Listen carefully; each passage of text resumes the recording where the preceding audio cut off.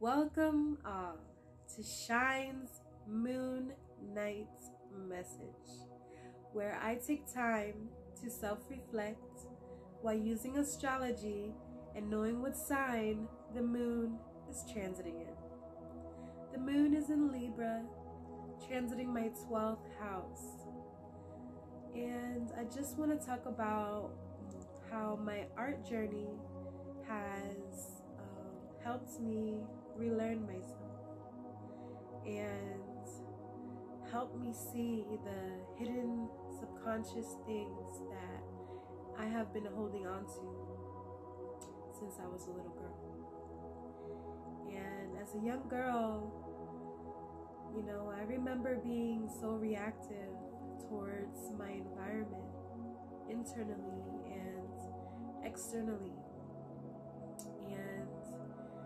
Not having this sense of awareness and understanding of what I was going through. You know, I, as I got older, it just got worse and worse. The more things that I didn't address and suppressed. And, you know, I kind of want to stop right there and observe what you tell yourself will shape your reality. And, you know, that's the thing about being a spirit in a human body is that we may go through different twists and turns, but one thing we can all agree on is that we have or had the ability to get attached to ideas and emotions. And these ideas and emotions that are connected to our individual spirit. So, having so much faith, so much belief, and so much imagination to the point that it just wills itself into this existence, and here we are on this earthly water cycle. So, which is it? Did some religious God put us all here to get lost in the mind and in the body? No. I'm going to chalk it up as we chose to be here and got lost within the creation, within the energies that we came here with. And as an individual spirit, you should all remember this and should be held accountable for all of it. At this point, realize, realize we created ourselves. You created yourself.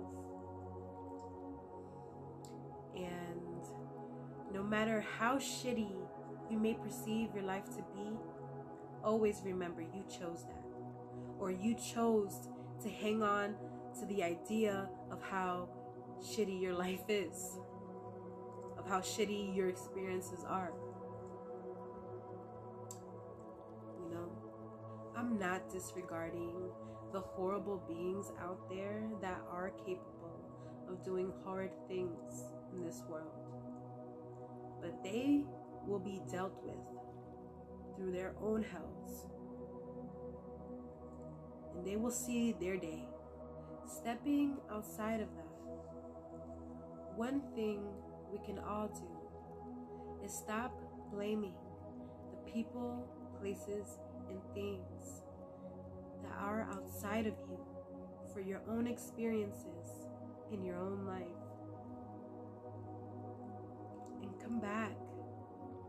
Come back to nothingness and sit in your stillness. Be naked. Sit in your nakedness and teach yourself. Teach yourself separation. Separate from the mind and observe these thoughts and feelings that aren't you. Because you are the creator and not the creation.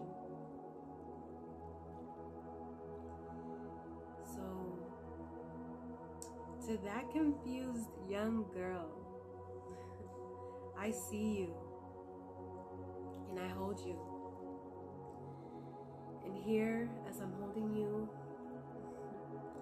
I'm enjoying every bit of it. Because I know, however polarized thought or feeling I get, I know it is meant to be used and transmuted towards the will of all possibilities. So, yeah. Relearn who you are